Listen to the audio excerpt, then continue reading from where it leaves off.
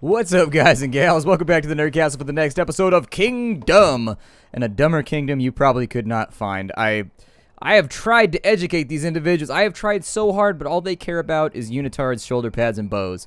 So I just make it available. It's kind of like one of those things where, why create a prohibition on unitards, shoulder pads, and bows and arrows when that's what my society wants? I'm interested in maintaining my rule over these people, and so you know what? Bread and circuses all day long. Wow, there are a lot of archers over here.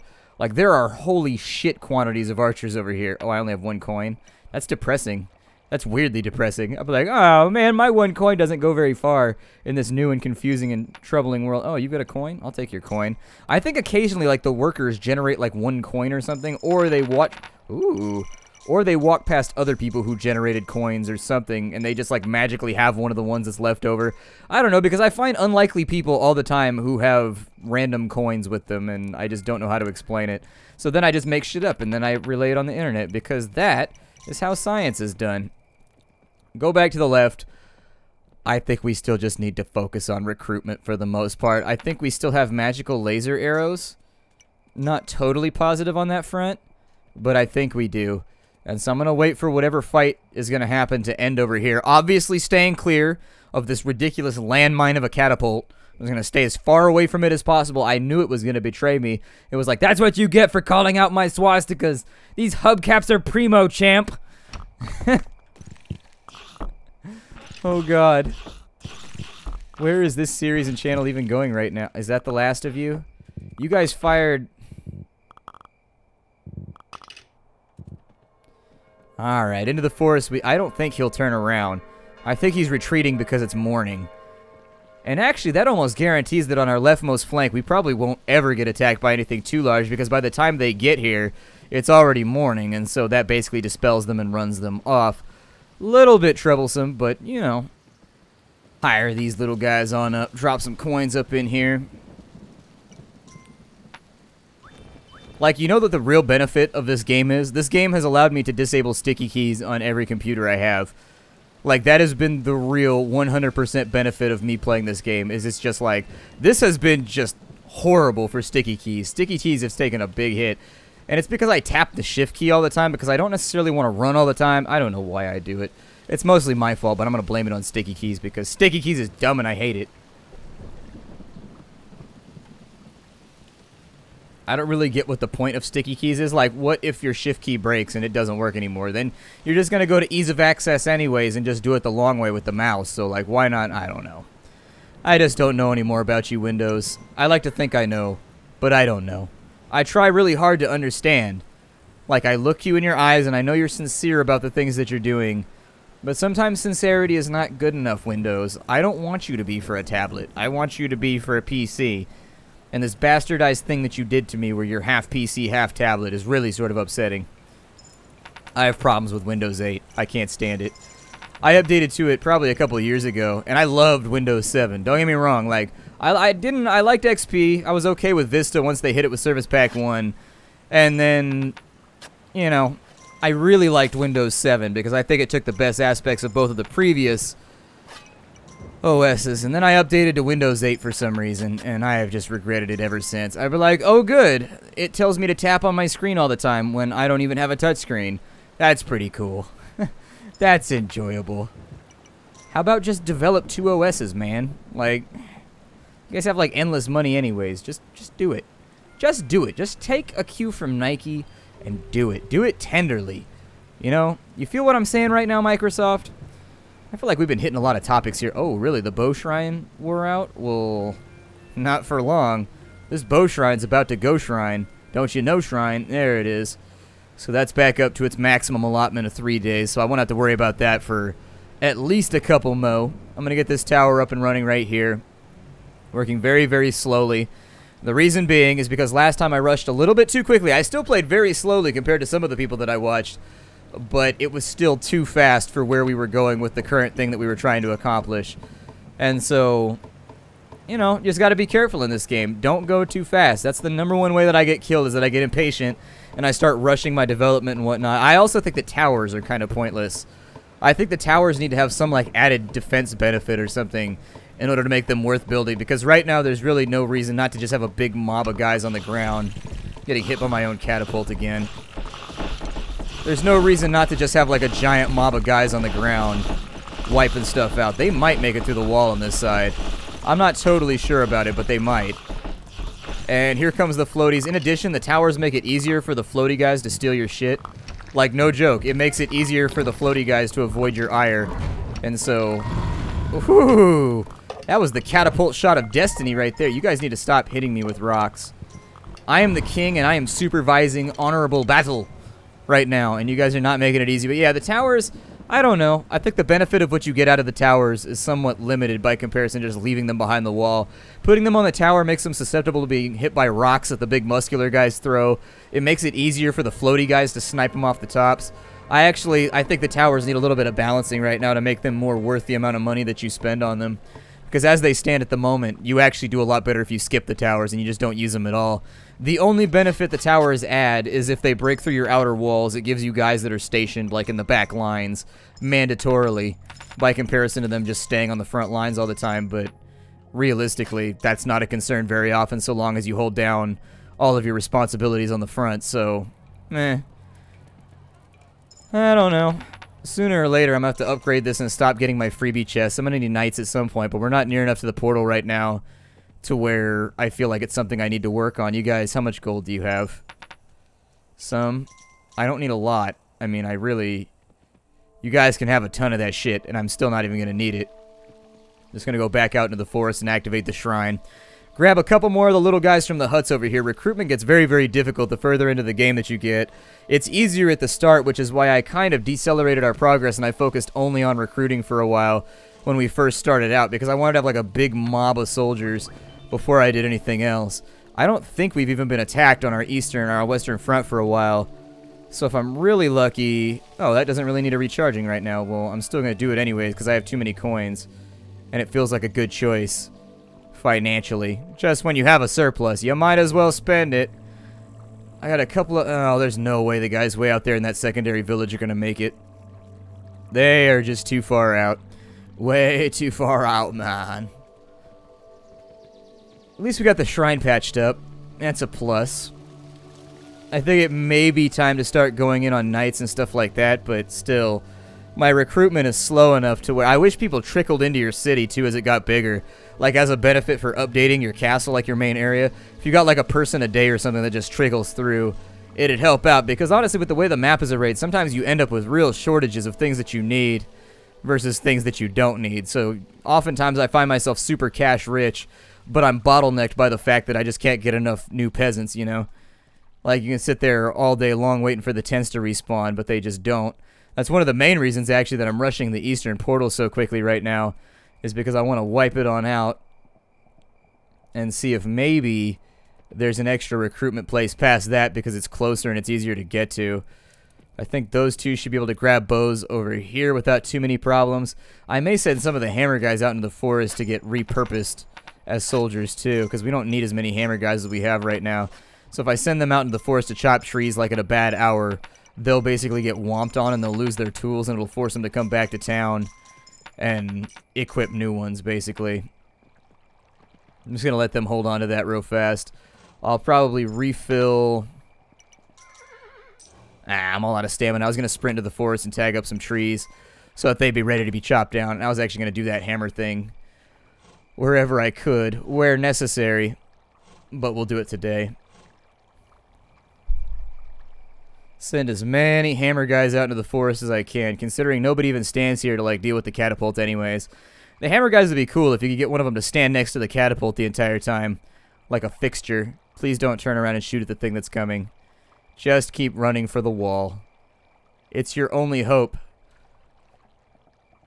There you go. I don't think anything's actually coming from this direction tonight. So what I would prefer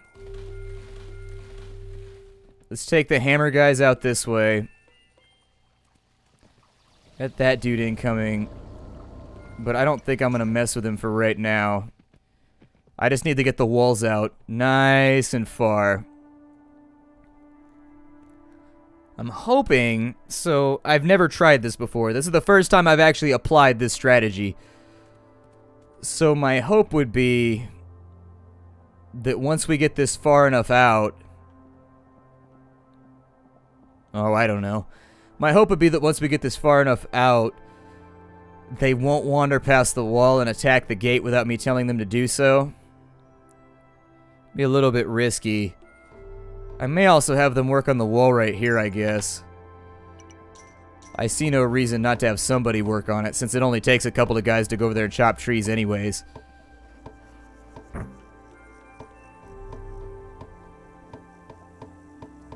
Well, I wanted you to do that last, but that's okay. Do what you're gonna do, homeboy. It's fine. I don't know if I should go for the knights right now. We're pretty close to the portal. I think I would wait for a big-ass attack, though, to the eastern wall. And on the day after the giant attack against the eastern wall, that's when I would send the knights out so that I know that we aren't running any risks right there with all the things that can go wrong. Once it starts belching trolls into our domicile.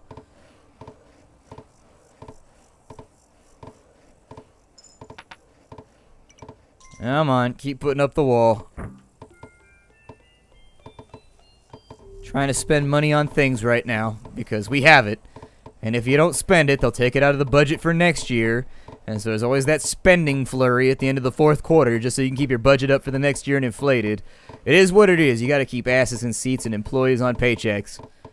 I get it. It's just that, you know, there's like an orgy of cash distribution at the end of the year in like every industry. There's like, ah, uh, surplus. Spend it. Spend it. Spend it on things we don't need. It's fine. Nobody cares. Just spend it on stuff. It'll be okay, I promise. Alright, so since we got you guys out here, it looks like we got some more archers headed to the front. I accept that. Now might be the time, since we are very, very cash rich, to finally jump into the next tier. Because I don't even think we need the chest coins anymore. They're not even a thing that factors into my spending any longer. So there we go. Finally got ourselves a bigger city. I think I gotta wait a minute before to let me update this though. Oh, they gotta update the towers first. Shit, I don't want towers. No! Waste of archers. Thy name is towers. I need archers on the front, not archers in these weird towers that are all the way back past all of our walls. I will never upgrade you. I only want one archer on the tower. It's fine. Now can I update this? Or do they have to build further out too? Okay, good. They don't have to build further out. I had my worries and concerns for a second. Guys got a little bit of cash. As soon as the fight ends over here, I'm going to run out and try and recruit a couple more people. I'm going to throw them on bow duty as always. However, if they aren't here shortly, Oh, there they are. Of course they're going to knock a coin out of me. It's what I deserve. I never learned my lesson. It's what I deserve. Alright, so there we go. And we got to hope that there's not a big siege guy behind these. Because that means that I can't run the line because he'll just sit back here and mess with my new recruits the whole time. Need him to get killed before he can go anywhere else.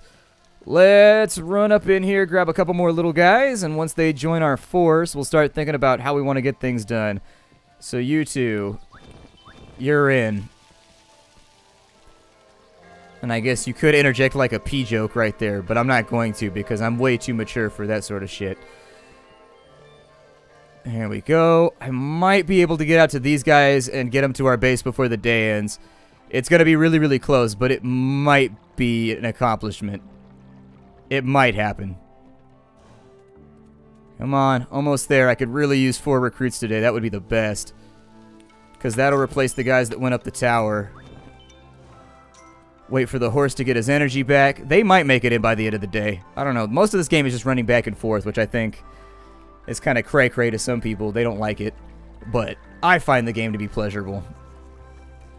I think that ambiance is a big key, though. I think games that tend to procure, or at least at the bare minimum, games that tend to cultivate a bit of ambiance and like an aura of just kind of like relaxing or like whatever they're going after. If it's a horror game, if you can produce an environment that feels conducive to horror, go for it. Or if you want to make a game that's about relaxing and defending a kingdom, you want the whole thing to feel like it's part of the same package.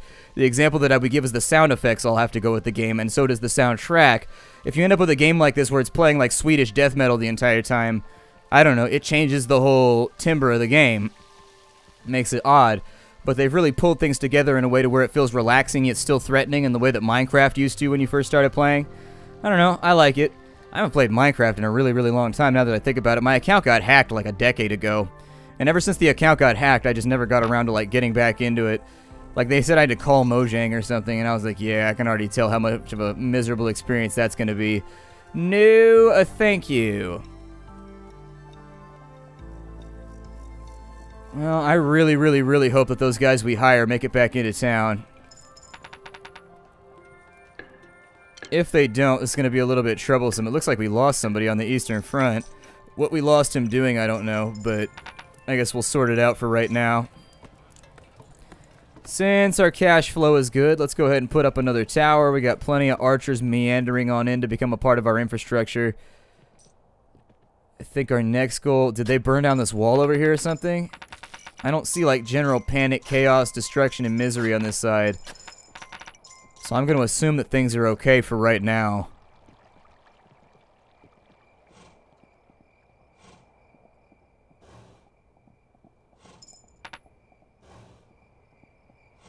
What's that noise? You hear that? I hear a noise. I don't know. Gentlemen, I am going to highly expect you to go back into town right about now. Oh. Apparently he's over here shooting the gate. Fantastic. That might work out in a weird way. I don't know. We'll see what happens here. We're about to get a big attack then if this occurs. Hopefully our archers all reroute themselves back to where they need to be. They've all got the bow buff, so they'll be hitting a little bit. The boba buff? A Boba Buff would be dope. I would like a Boba Buff. Why is Boba Fett so popular? You ever wonder that? Like he in the original Star Wars, he was just like a background character, and yet he I I don't know. I always felt like it was because he's a gangster. Like even like Darth I'm sorry, even Darth Vader had to like give him warnings. Darth Vader had to be like, "No disintegrations. I'm onto your shit, Boba. I'm done with you. Okay, I've hired you like 9 times and you just keep disintegrating fools." Like even he just got he got called out. I think people like that. It's the fact that he's defiant. He's the kind of dude that keep his head cocked to the side, keep his hat on tilt. Hey, what's up, random archer that did not get back inside the gate by the time I told him to?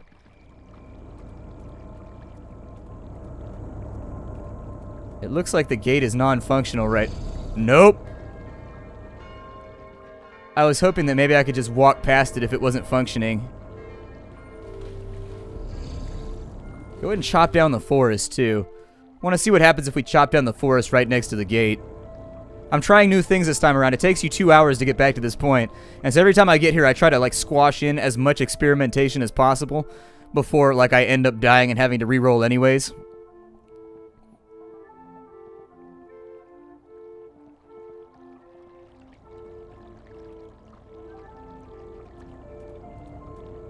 I think most of these guys should just dither over here throughout the day, I think.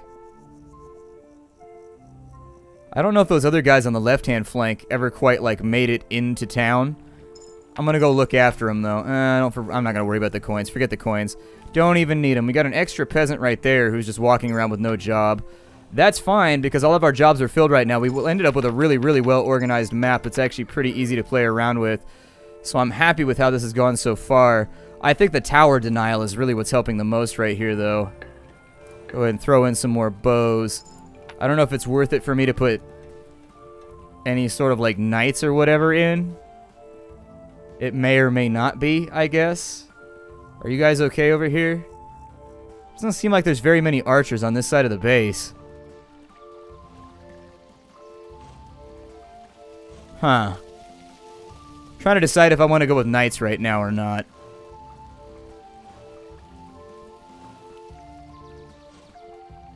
Yeah, I think these are my cats that didn't quite make it into town.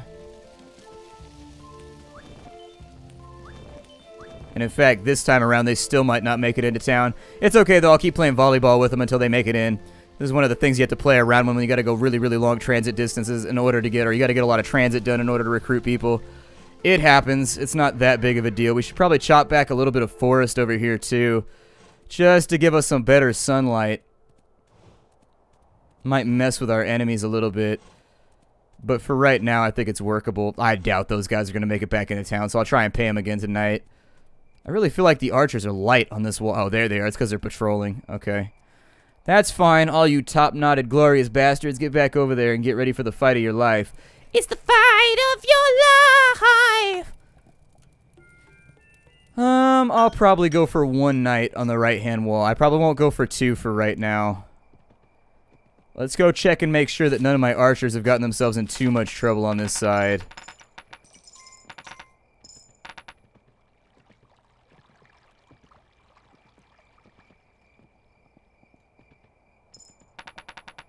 Where'd you get all those coins from, man? Like, oh, you know, just robbing children. The standard. Just kind of hanging out, messing with people that look at me wrong, raising my eyebrows.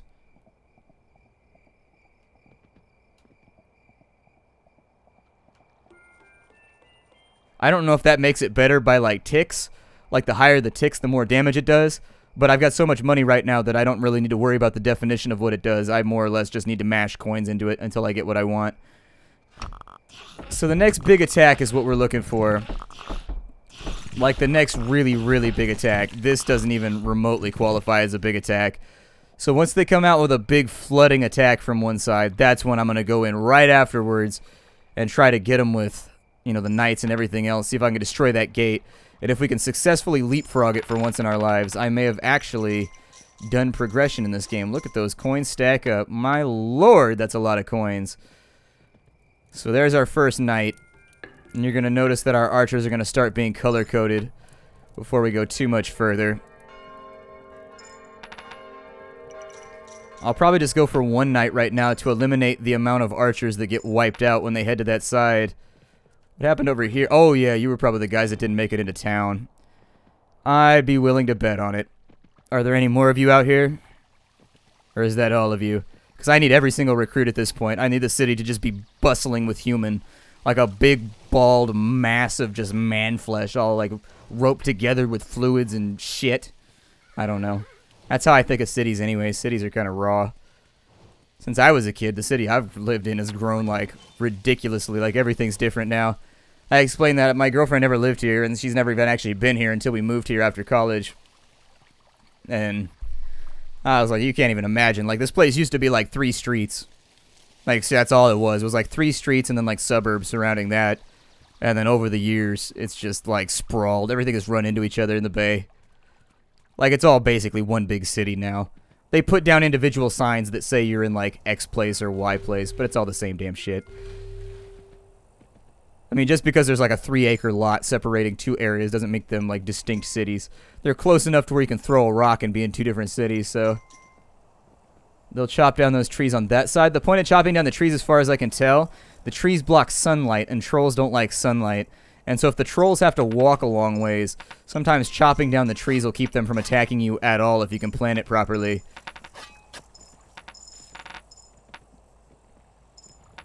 The other strategy we might attempt on this side. So there's my knight. Where are my archers at? I'm not seeing a lot of you guys over here.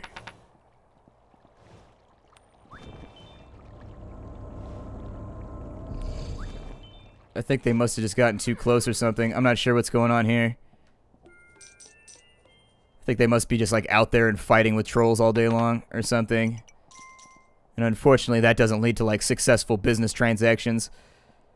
I could I could actually where are my archers at? Like, there they are. I was to say, you guys should probably get on this wall, right? It's kind of scary out here. I threw a coin into the lake to make a wish. Here, I'm to throw all these two. We need a lot of wishes. There we go. Lots and lots of wishes being made right now.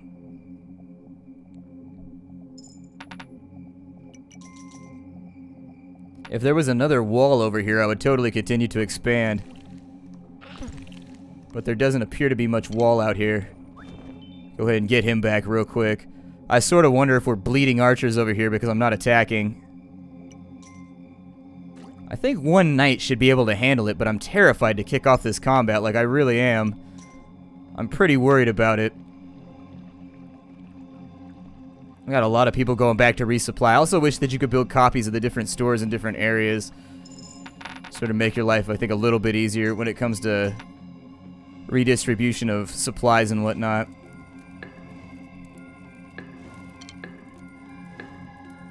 There we go.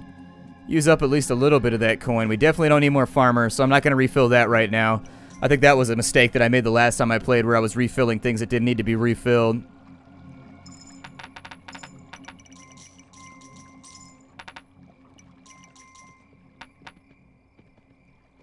So are we getting hit over here? He asked. Actually sort of hoping that we would get hit over here. No, it doesn't look like we did. Well, I'm going to break the episode off right here.